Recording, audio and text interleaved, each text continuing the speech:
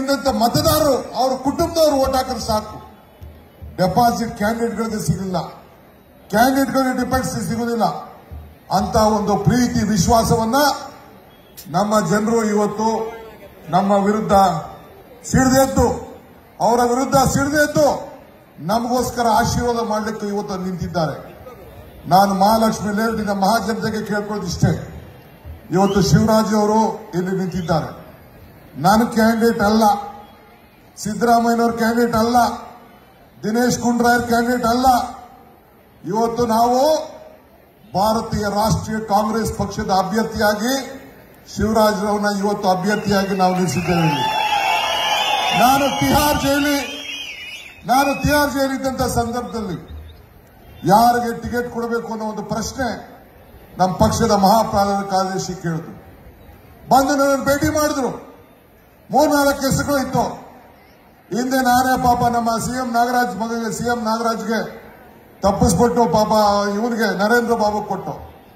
ಆತ ಕೂಡ ನಮ್ಗೆ ಮೋಸ ಮಾಡಿಬಿಟ್ಟು ನಮ್ಮ ಪಕ್ಷ ಬಿಟ್ಟು ಇವತ್ತು ಬೇರೆ ಪಕ್ಷಕ್ಕೆ ಇವತ್ತು ಹೋಗಿದ್ದಾನೆ ಇರಲಿ, ಅದ್ರ ಬಗ್ಗೆ ನಾನು ಬೇರೆ ಸಂದರ್ಭದಲ್ಲಿ ನಾನು ಚರ್ಚೆ ಮಾಡ್ತೀನಿ. ಎರಡು ಬಾರಿ ಶಾಸಕರಾಗಿ ಕಾಂಗ್ರೆಸ್ ಪಕ್ಷ ಮಾಡ್ತು. ಅಲ್ಲಿವರೆಗೂ M L A Narendra Babu ಅನ್ಸ್ಕೊಳ್ಳಿಕ್ಕೆ ಸಾಧ್ಯ ಆಗಿರಲಿಲ್ಲ. ನಾನು ಬಂದು ಹತ್ತಾರು ಸಭೆಗಳನ್ನು ಮಾಡಿ ನಿಮ್ಗೆಲ್ಲರೂ ಕೂಡ ಆತನಿಗೆ ಸಹಾಯ ಮಾಡಿ ಅಂತ ಹೇಳ್ದು. ಆತ ಕೂಡ ನಮ್ಮ ಪಕ್ಷಕ್ಕೆ ದ್ರೋಹ ಮಾಡಿ ಇವತ್ತು ನಮ್ಮ ವಿರುದ್ಧ ಇವತ್ತು ಹೋಗಿದ್ದಾನೆ. ಇರಲಿ. ಅದೇ ಕೊನೆಯ ರಾಜಕಾರಣ ಆಗ್ತದೆ, ಅದು ಬೇರೆ ನಾನು ಚರ್ಚೆ ಮಾಡಕ್ಕೆ ನಾನು ಹೋಗುದಿಲ್ಲ. ಆದರೆ ಇವತ್ತು ಈ ದೇಶದ ಪರಿಸ್ಥಿತಿಯನ್ನು ತಾವು ಗಮನಿಸಿದ್ದೀರಿ. ಸೋನಿಯಾ ಗಾಂಧಿ ಅವರು ಈ ದೇಶದ ಕಾಂಗ್ರೆಸ್ ಪಕ್ಷದ ಅಧ್ಯಕ್ಷರಾಗಿದ್ದಾರೆ. ಈ ಒಂದು ಹಸ್ತದ ಗುರುತಿನ ಚಿಹ್ನೆ ಕೊಡುವಂತ ಇದ್ದಾರೆ. ಆ ಹೆಣ್ಮಗಳು ಆ ಹೆಣ್ಮಗಳು ಎರಡು ಬಾರಿ ದೇಶದ ಪ್ರಧಾನಮಂತ್ರಿ ಆಗುವಂತ ಒಂದು ಅವಕಾಶ ಇತ್ತು. ಆವತ್ತಿನ ಕಾಲದಲ್ಲಿ ಯುಪಿಎ ಎಲ್ಲಾ ಸಂಸತ್ ಸದಸ್ಯರು ತಾಯಿಗೆ ನೀನು ಈ ದೇಶದ ಪ್ರಧಾನಮಂತ್ರಿ ಆಗು ಅಂತೇಳಿ ಆಗಿದ್ದಂತ ಅಬ್ದುಲ್ ಕಲಾಂ ಅವರಿಗೆ ಅರ್ಜಿ ಕೊಟ್ಟು ಅವನ ಪ್ರಧಾನಮಂತ್ರಿ ಮಾಡುವಂತ ಕಲಿಸ್ಕೊಟ್ರು ಆದರೆ ಹೆಣ್ಣುಮಗಳು ಹೇಳಿದ್ರು, ನನ್ನ ವೈಯಕ್ತಿಕವಾದ ವಿಚಾರ ಅಲ್ಲ, ನಾನು ಪ್ರಧಾನಮಂತ್ರಿ ಆಗೋದು ಮುಖ್ಯ ಅಲ್ಲ, ಈ ದೇಶದ ಬಡ ಪರಿಸ್ಥಿತಿ ಏನಿದೆ, ಆರ್ಥಿಕ ಪರಿಸ್ಥಿತಿ ಅದ್ಗೆಡ್ತಾ ಇದೆ ಈ ಒಂದು ದೇಶವನ್ನ ಮತ್ತೆ, ಈ ದೇಶವನ್ನ ಮತ್ತೆ ಬದಲಿನ ಸ್ಥಾನಕ್ಕೆ ತರಬೇಕು. ಯುವಕರಿಗೆ ಉದ್ಯೋಗ ಸಿಗಬೇಕು.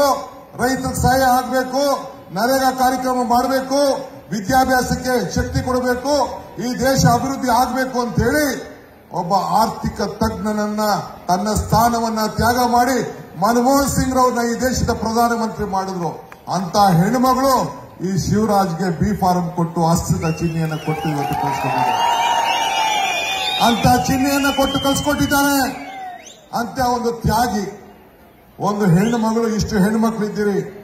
ತನ್ನ ಗಂಡನನ್ನ ಈ ದೇಶದ ಐಕ್ಯತೆ, ಈ ದೇಶದ ಸಮಗ್ರತೆ, ಈ ದೇಶದ ಶಾಂತಿಗೋಸ್ಕರ ಇವತ್ತು ರಾಜೀವ್ ಗಾಂಧಿ ಅವ್ರನ್ನ ಕಳ್ಕೊಂಡು ಅವರ ಹತ್ತೆ ಇಂದಿರಾ ಗಾಂಧಿ ಅವರು ನಾವೆಲ್ಲ ಬಡವರು ನೆನೆಸ್ಕೊಳ್ತೇವೆ.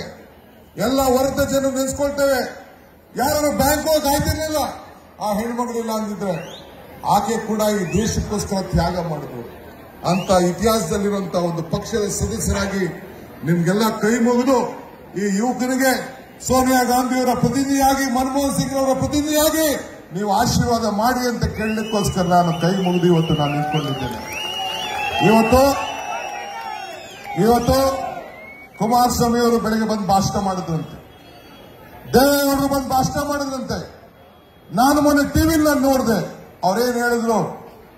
ಯಾರು ಗೆಲ್ತಾರೋ ಸೋಲ್ತಾರೋ ಮುಖ್ಯ ಅಲ್ಲ. ನೀವು ಯಾರು ಓಟ್ ಹಾಕ್ತಿರೋ ಮಾಡ್ತಿರೋ ಮುಖ್ಯ ಅಲ್ಲ. ಈ ಹದಿನೈದು ಜನ ಯಾರು ದ್ರೋಹ ಮಾಡಿದ್ದಾರೆ? ಯಾರು ಮತದಾರರಿಗೆ ದ್ರೋಹ ಮಾಡಿದ್ದಾರೆ? ಯಾರು ತನ್ನ ಹಕ್ಕನ್ನ ಮಾರ್ಕೊಂಡಿದ್ದಾರೆ? ಅದರ ವಿರುದ್ಧವಾಗಿ ಅವ್ರನ್ನ ಸೋಲಿಸುವಂತ ಕೆಲಸ ನೀವು ಮಾಡಬೇಕು ಅಂತೇಳಿ ಸಂಕಲ್ಪವನ್ನು ಮಾಡಿ ಮತದಾರರಿಗೆ ಇವತ್ತು ಮನವಿ ಮಾಡಿಕೊಂಡು ಇವತ್ತು ಹೋಗಿದ್ದಾರೆ. ಇದನ್ನ ಗಮನದಲ್ಲಿ ಇಟ್ಕೊಳ್ಬೇಕು ಬಿಜೆಪಿಯವರು ಪಾಪ ದೊಡ್ಡ ಹೊಸ ರಾಜಕಾರಣ ಪ್ರಾರಂಭ ಮಾಡಿದ್ದಾರೆ.